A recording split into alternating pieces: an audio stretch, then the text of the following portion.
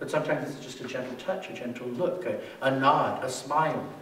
These are the acts, the, the, the thank yous of faith. And these are the ways of also creating a space in our hearts and our lives that make it exist.